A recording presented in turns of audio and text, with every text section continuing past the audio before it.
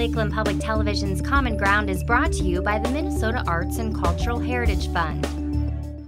I'm Paul Jensen. and My business is uh, imagery and glass, and uh, I uh, focus on etched and carved glass. Now, etching can be uh, uh, any way to abrade the glass. So it can be a Dremel tool, it can be a diamond tool, uh, laser. In my case, it's all sandblasting. Everything I do is sandblasting. So I'm using it, uh, the sandblaster as a carving tool. I'm using it as a, a shading tool. Um, it, it, it, does a lot of different things and it, it leaves me free to uh, use a lot of techniques and, and, and things. So um, uh, I'm able to achieve a lot of results with one tool basically is what it amounts to. So what I do is I start out, we start out with a design. Now the design can be uh, uh, customer uh, design, as in this case I'm, I'm using uh, a subcontracting for a, a custom door company. Um, they'll send me a design and then I will take off on that design. Uh, do the working drawings, so everything is all drawn out in pencil. So before we start with anything, we clean the glass, and we apply a, a, a rubber matting to the glass uh, on the side that's to, to be carved here. So this is uh, uh, kind of a light rubber matting. It's easy to cut and uh, it's applied right to the glass. The glass is cleaned very well uh, and, and we stick that down. Once that's done, we apply the drawing to, to the, uh, to the rubber matting, which is also called stencil or resist. Uh, the drawing will be laid down with the pencil side down, right on top of the resist. And I've already got one down here.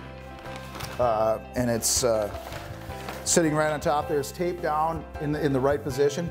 And so what I do is then I just take anything, and I'm, in this case I'm using a little, a little uh, uh, container to, to rub off the pencil marks on, on, the, uh, on the stencil or the resist. And I've already done a little bit of it beforehand. So we can take a look here and the pencil mark will rub right off onto the, uh, the resist. Okay, in this case here, I'm doing, uh, I don't know if you can see that or not, but there's going to be a deer scene on this one. You got two deer here. There's going to be kind of a lake, and uh, everything is rubbed off, and looks like it's looks like it's going to work. So we just take that off. Now comes kind of the tedious part you have to ink all these lines in now. So grab the trusty Bic pen here and we just uh, just ink in all the lines because once we start sandblasting on, on this, the pencil lines will blow away essentially and there will be nothing left for me to, uh, to see where I'm going or, or what I'm doing.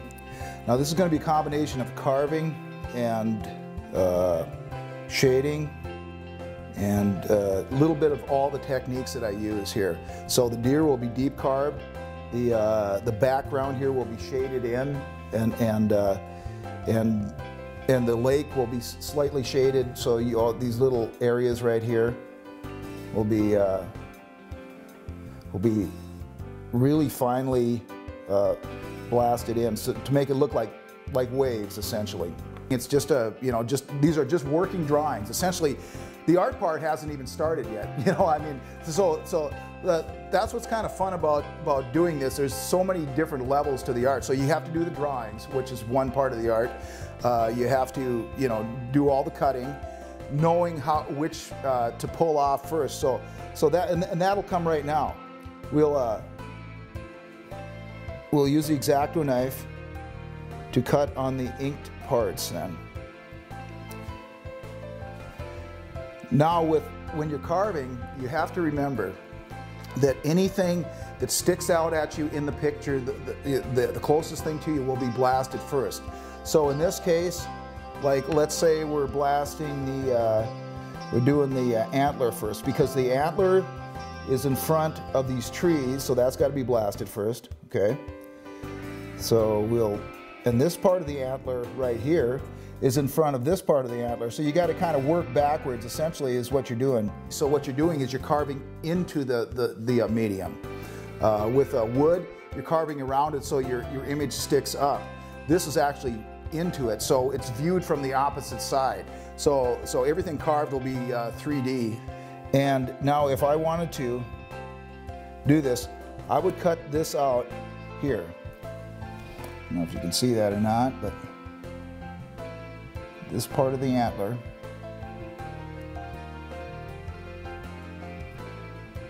And, and everything will get cut out. Before I even go into the blasting booth to uh, blast this, this will all be cut out. So when I'm in there, I'm just gonna start pulling pieces, okay?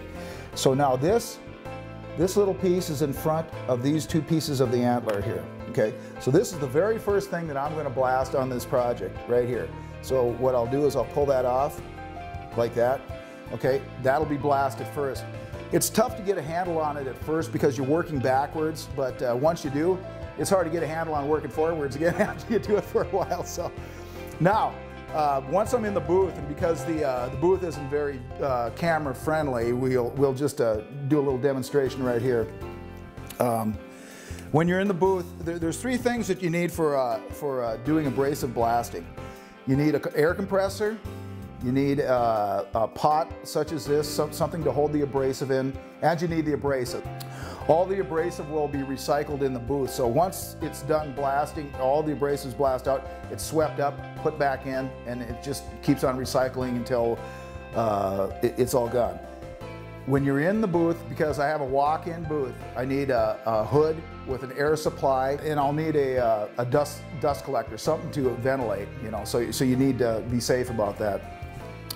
Um, once I'm in there, once this is in there, I will start blasting. So I'll, I'll, i have this pulled already. I'll blast this first. I'll pull this next, pull this next, you know, and, and on down the line. Just keep working myself, uh, you know, all the way through the whole, whole picture. Something like this might take about a week to totally finish up.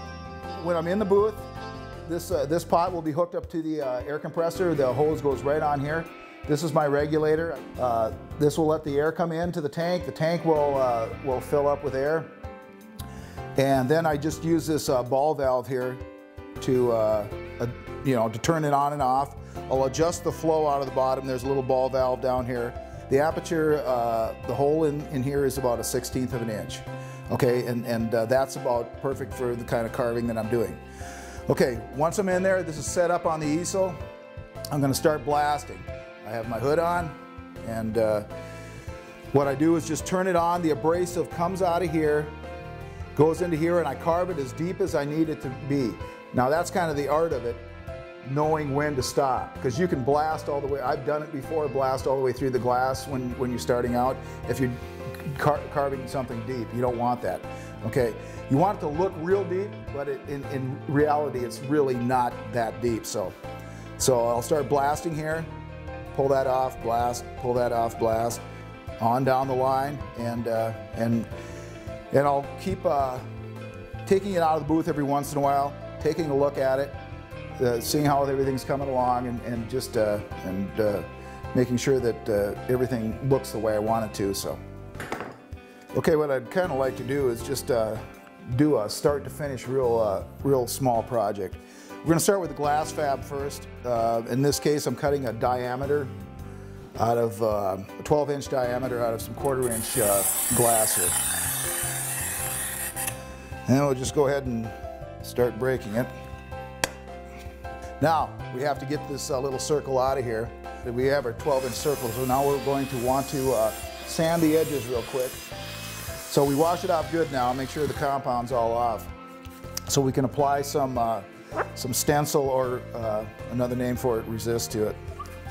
So here we go. We got our stencil on here. We have our uh, uh, glass. It's ready to go. Um, the pattern can be transferred on. In this case, uh, uh, I had the pattern on, on, this one already done. In this case, I'm just going to draw something freehand on here. And we'll just go with something uh, maybe maybe just a little uh, little free flowing, something uh, like this. Now these are overlapping each other, so I'm going to do a quick carving on them here in just a little bit. Now we'll cut it out. Now we've got to decide which ones we want out first, which ones we want to blast first. This is, uh, this is where it gets a little complicated. This is going over top of this, okay?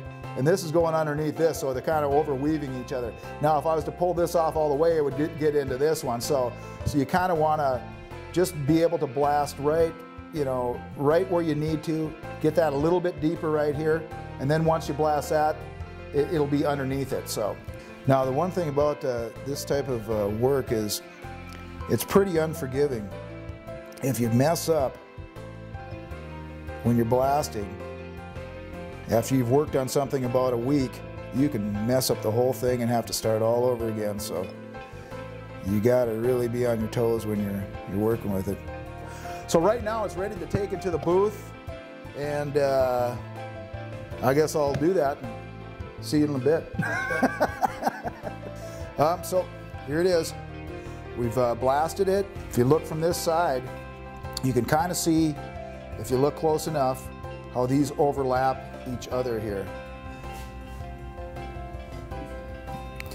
So once we have that all blasted, it's all done. We're just going to remove the uh, remove the uh, the resist, um, and there we go. Here's the finished product.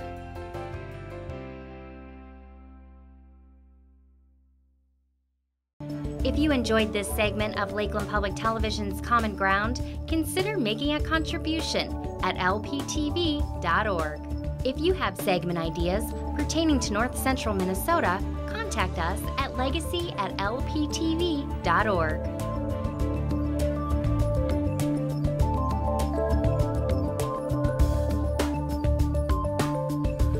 Common Ground is funded by the Minnesota Arts and Cultural Heritage Fund by the vote of the people on November 4, 2008.